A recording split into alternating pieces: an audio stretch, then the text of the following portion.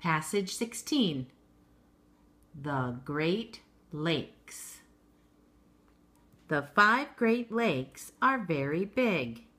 They can be seen from space. The lakes hold a lot of fresh water. One is Lake Superior. It is the second biggest lake in the world.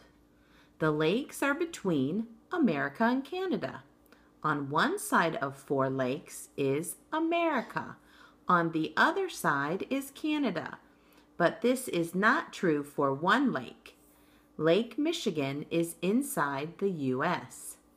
The Great Lakes are linked. A ship can move from one to the other. Many ships go from lake to lake. They bring things to people. These ships may even go out to the sea. Then they can go to other countries. Now you try.